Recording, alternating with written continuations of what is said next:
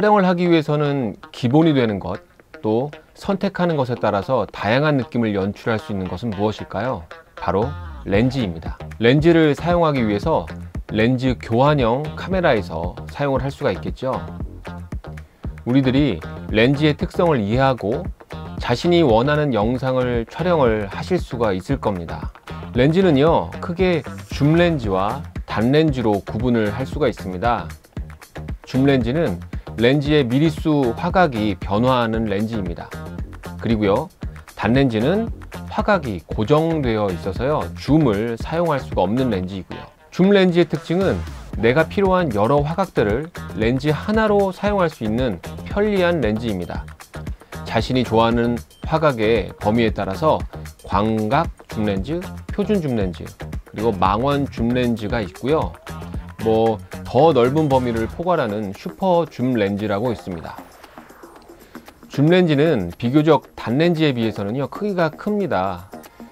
음, 조리개 수치가 더 밝게 설계된 줌 렌즈일수록 그 크기는 더욱더 커지는 경향이 있는데요. 특히 영화나 드라마에서 촬영하는 줌 렌즈의 크기는 정말 거대할 정도입니다. 단 렌즈는요, 줌 렌즈에 비해서 조리개 수치가 밝은 편이에요. 그래서 실내의 어두운 곳에서도 빛을 확보하는 데 유리한 편입니다.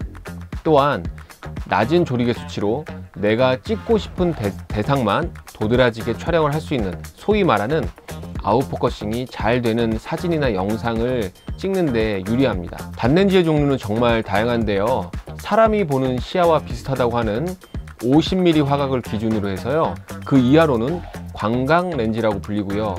70mm 이상부터는 망원으로 분류가 되곤 합니다. 많이 쓰이는 화각으로는요. 16mm, 24mm, 35mm, 50mm, 85mm, 100mm, 135mm, 200mm 등이 있습니다.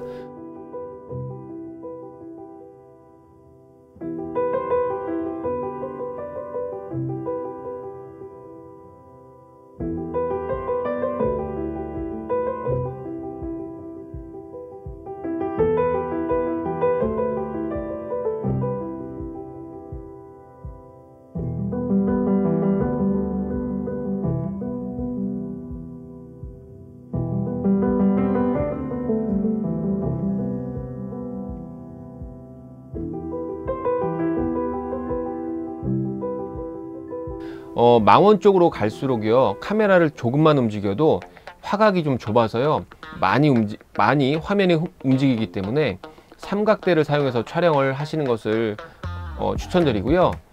음, 여러분 방금 전에 영상 보셨죠? 어, 화각에 따라서 화면에 담기는 좀 크기가 달라요. 물론 꼭 화각에 따라서만 화면에 담기는 크기가 달라지는 것은 물론 아니에요 어, 화각은 같더라도 카메라에 카메라를 피사체한테 더욱 가까이 간다면 어, 피사체와 카메라의 거리는 더욱더 가까워져서 화면 안에 피사체가 더욱더 가득 담기게 되겠고요. 카메라를 피사체와 점점 뒤로 뺀다면 음, 화면 안에 피사체는 담고자 하는 피사체나 인물은 작게 담기게 되겠죠